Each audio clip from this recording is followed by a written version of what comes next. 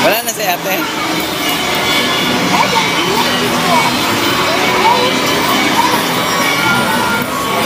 Diyan pa rin? Diyan pa rin? Ilan na lang? Ito na. Dalawang token yan eh. Parado. Ayan oh. o.